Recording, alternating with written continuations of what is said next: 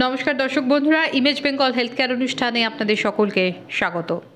আজকে আমরা আমাদের মধ্যে পেয়েছি বিশিষ্ট কনসালটেন্ট নেফ্রোলজিস্ট ডক্টর পার্থ কর্মকারকে। স্যারকে প্রথমেই আমাদের ইমেজ বেঙ্গল হেলথ কেয়ারে স্বাগত।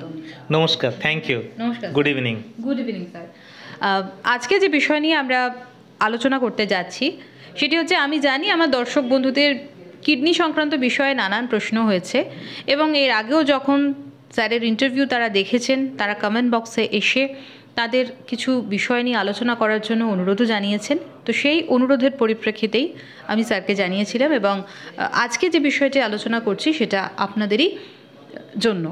তো আমি প্রথমেই যে বিষয়টি নিয়ে আজকে আলোচনা করব সেটি হচ্ছে প্রোটিন কিডনির ক্ষেত্রে একটা অত্যন্ত গুরুত্বপূর্ণ বিষয় হচ্ছে প্রোটিন অনেকের মধ্যে একটা ধারণা রয়েছে যে বেশি প্রোটিন খেলে নাকি কিডনি নষ্ট হয়ে যায়। পাশাপাশি এটাও ধারণা রয়েছে যে যারা কিডনির রোগী, তাদের নাকি প্রোটিন নেওয়া যাবে না। আদৌ এটা কতটা ঠিক? ঠিক কী পরিমাণ প্রোটিন? সাধারণ একজন মানুষ যার কোনো কিডনির সমস্যা নেই, তিনি যেমন নিতে পারেন। তার পাশাপাশি যার কিডনির অসুখ রয়েছে, তারও কি প্রোটিন বা কি পরিমাণ প্রোটিন নেওয়া দরকার? সেটাই আজকে আমাদের আলোচ্য বিষয়। স্যার, শুরুতেই যেটা জানতে চাইব যে প্রোটিন নিয়ে তো নানা রকম মতামত রয়েছে। তো প্রথমত সাধারণ সুস্থ মানুষের জন্য জানব যে বেশি প্রোটিন খেলে কি কিডনি নষ্ট হয়? এটা কতটা সঠিক কথা? এই প্রসঙ্গে আসার আগে আমি প্রথমেই দর্শকদের ধন্যবাদ জানাতে চাই।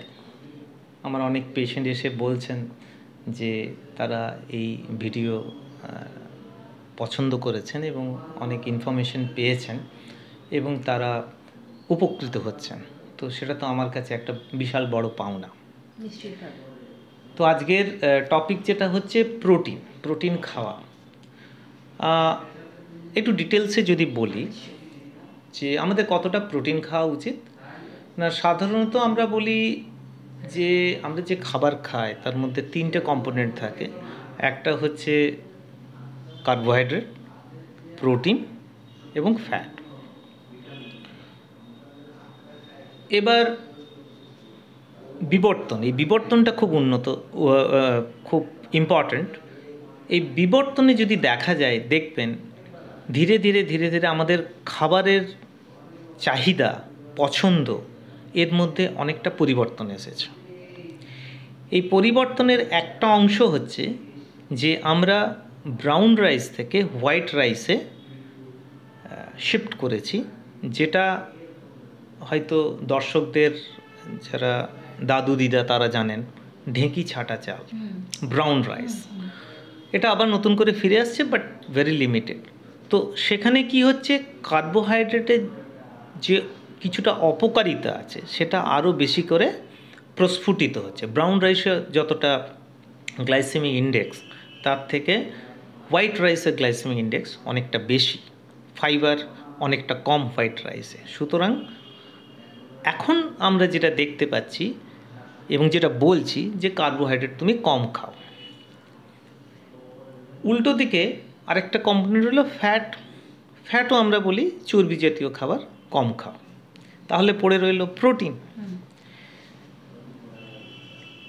তো এই কনটেক্সটে যে দেখা যাচ্ছে যে ওবেসিটি এত বেড়ে যাচ্ছে যে আমরা বলি তুমি কার্বোহাইড্রেট কম খাও তুমি ফ্যাট কম খাও তুমি প্রোটিন বেশি করে খাও। অ্যাটকিন্স ডায়েট এবার এই ডায়েটিং করতে গিয়ে দেখা গেল, কিছু স্টাডিতে দেখা গেছে, যে যারা এইভাবে ডায়েটিং করছেন এবং প্রোটিন বেশি খাচ্ছেন, তাদের মধ্যে ক্রনিক কিডনি ডিজিজের একটা সম্ভাবনা থেকে যাচ্ছে। তবে এটা এক্ষুনি হান্ড্রেড পারসেন্ট বলা যায় না যে বেশি প্রোটিন খেলেই ক্রনিক কিডনি ডিজিজ হয়, কিন্তু একটা টেন্ডেন্সি থাকে। তো আমরা আগে কি বলতাম? যে প্রোটিন তোমরা খাও one gram per kg body weight permissible একটা লিমিট আমাদের অর্থনীতির উন্নতি হচ্ছে পপুলেশন বাড়ছে অ্যাবাভ দ্য প্রভার্টি লাইন অনেক জনসংখ্যা অনেক বেড়েছে ফাইভ ট্রিলিয়ন ডলার ইকোনমি এখন। তো এখন দেখা যাচ্ছে যে মানুষ যারা আগে খুব কম প্রোটিন খেতেন, তারাই কিন্তু বেশি করে প্রোটিন খাচ্ছে। ম্যাসাচুয়েটস ইনস্টিটিউটের একজন নেফ্রোলজিস্ট একবার এসেছিলেন আমাদের কনফারেন্সে, তো লাঞ্চ করছিলাম আমরা। তো সেই সময় নেফ্রোলজিস্ট আমাদের বললেন you guys eat so much protein so it was very big eye opener for me এবং আমি আমার এই লাস্ট সেভেন্টিন ইয়ার্সের যে এক্সপিরিয়েন্স দেখছি পেশেন্টের মধ্যে পেশেন্টদের মধ্যে কিন্তু প্রোটিন ইনটেক অনেকটা বেড়েছে। পেশেন্ট বলব না নর্মাল পার্সনদের মধ্যে। তাহলে যারা কম প্রোটিন খেতেন তারাই আজকাল দেখবেন সকালে মাছ দুপুরে ডিম রাত্রে মাটন চিকেন বাইরের জোম্যাটো এক্সেট্রা এক্সেট্রা সুতরাং প্রোটিন ইনটেক কিন্তু আগের থেকে অনেক বেড়ে গেছে। তো এই কনটেক্সটে আমি বলব যে প্রোটিন খাওয়া উচিত one gram per kg body weight করে। বেশি খেলে কার্বোহাইড্রেটের যেমন সাইড এফেক্ট আছে, বেশি ফ্যাটেরও সাইড এফেক্ট আছে, সুতরাং বেশি প্রোটিনেরও সাইড এফেক্ট থাকাটা স্বাভাবিক। এবং এই যে সাইড এফেক্ট এটা ডাইরেক্টলি যে শুধু প্রোটিন থেকে আসে তা নয় প্রোটিন জাতীয় যে খাবারগুলো, তার মধ্যে প্রিজারভেটিভ থাকে, মশলা থাকে, এবং হাই সল্ট থাকে।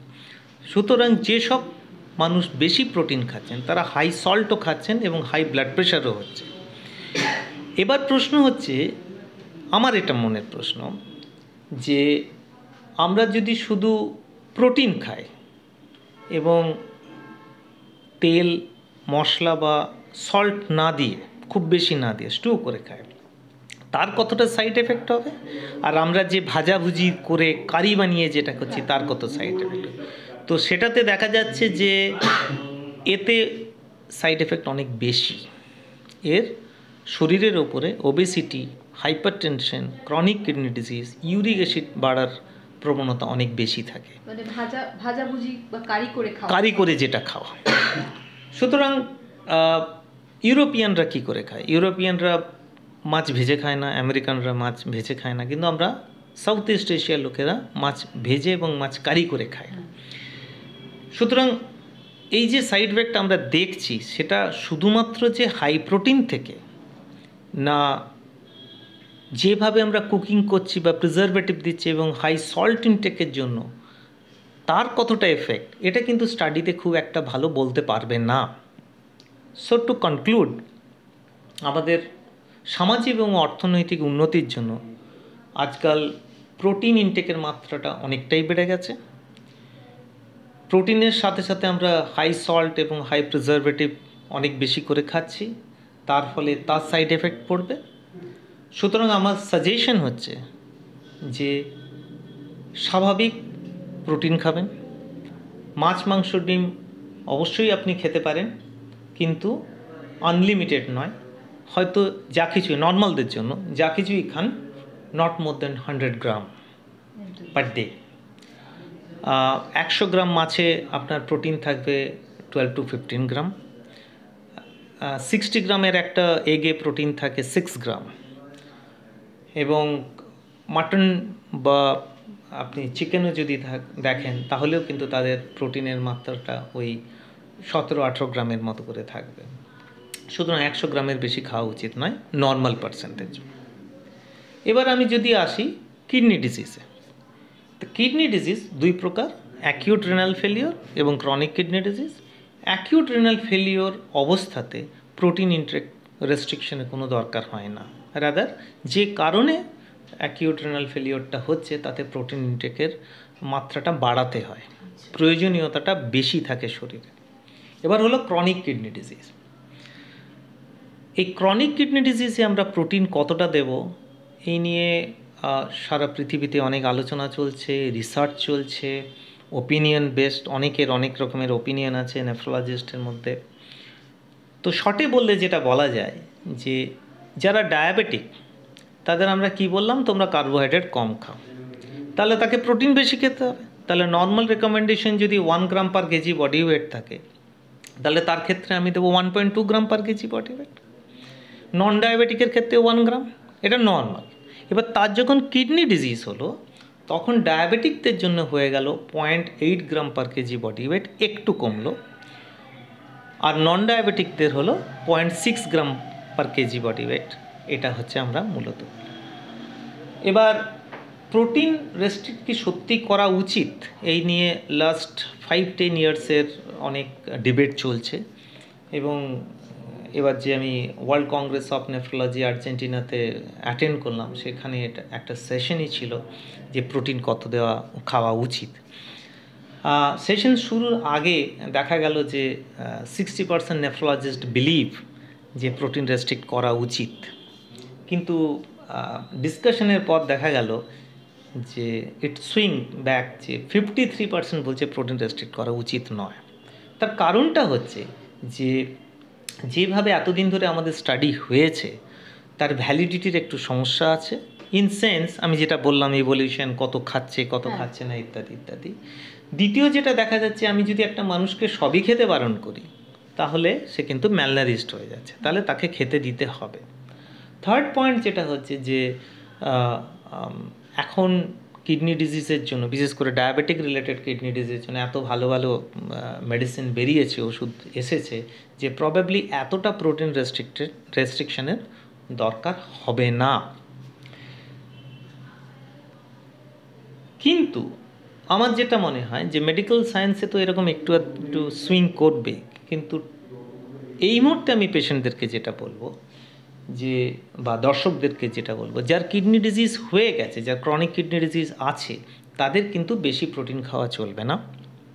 আইদার আপনি ডায়াবেটিক হলে point eight gram per KG body weight protein খাবেন ওয়ান পয়েন্ট টু গ্রাম নয় মানে নর্মালের থেকে কম। আলফা কিটোন অ্যালক বলে একটি ভালো প্রোটিন সাপ্লিমেন্টস বাজারে আছে, যেটার খুব দামি। সেটা কেউ যদি অ্যাফোর্ড করতে পারেন, সেক্ষেত্রে আমরা point four to point five gram per KG body weight protein তার সাথে এই সাপ্লিমেন্টটা দিতে পারি। আর যারা নন ডায়াবেটিক তাদের ক্ষেত্রে point six gram per KG body weight কিন্তু এটা কি ফাইনাল এটা ফাইনাল নয়। তার কারণ হচ্ছে, আপনার শরীর ডাইনামিক আপনার ডিজিজ ডাইনামিক আপনার রেসপন্স টু মেডিসিন ডাইনামিক মানে চেঞ্জ হতে থাকে।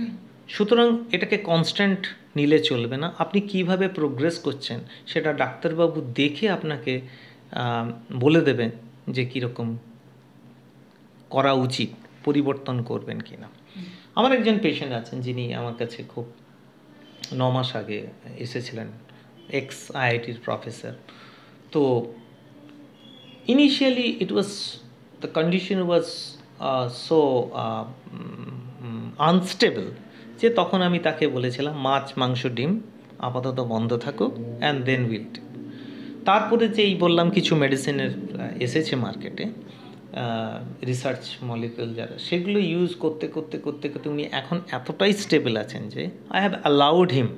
To take সুতরাং একই পেশেন্টের ক্ষেত্রে তার রেসপন্স টু মেডিসিন এবং রেসপন্স টু ডিজিজ অনুযায়ী অথবা স্টেজ অফ দ্য ডিজিজ অনুযায়ী এই প্রোটিন ইনটেকটা কিন্তু চেঞ্জ হবে।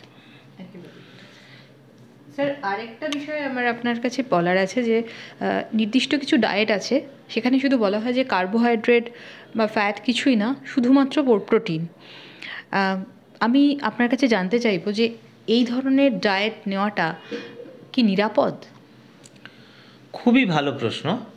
যেটা আমি বলছিলাম অ্যাটকিন্স ডায়েট সেটা হচ্ছে যে অনেকেই ওবেসিটি বা ডায়েটিংয়ের সময় এগুলো করে থাকেন।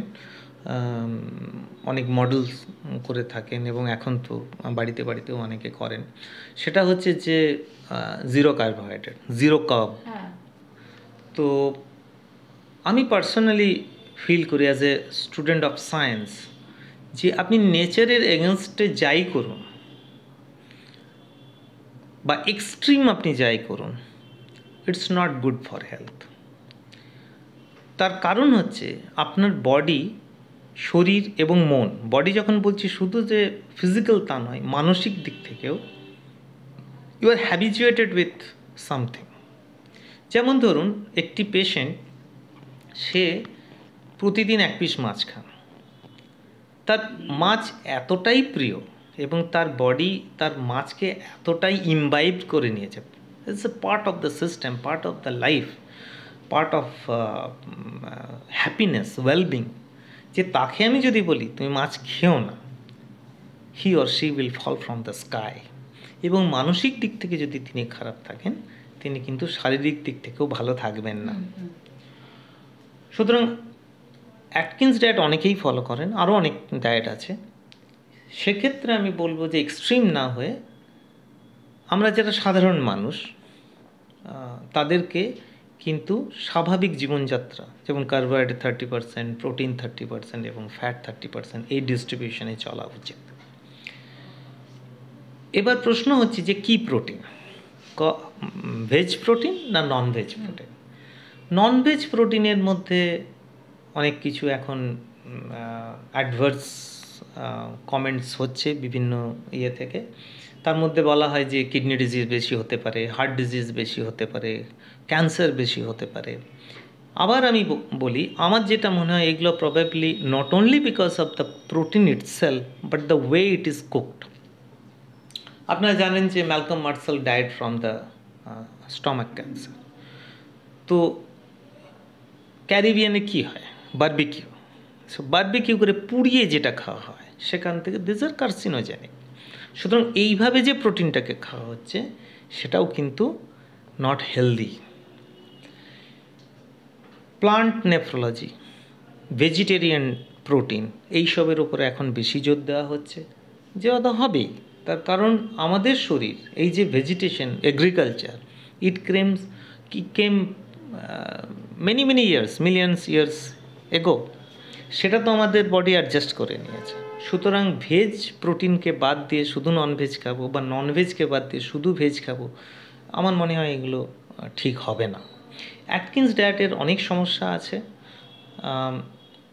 কিডনি স্টোন বেশি হয় অ্যাসিডোসিস বেশি হয়, হয়তো কিডনি ডিজিজ বেশি হতে পারে। তো সুতরাং এই পার্টিকুলার একটা স্পেসিফিক ডায়েটকে আমি কখনোই সাপোর্ট করি না। ন্যাচারালি হেলদি ডায়েট সব কিছু খাও, অল্প অল্প করে। ডাক্তারবাবুকে অনেক ধন্যবাদ আমাদের সঙ্গে এই বিষয়টি আলোচনা করার জন্য। আপনারা সকলে সুস্থ থাকুন, ভালো থাকুন। নমস্কার।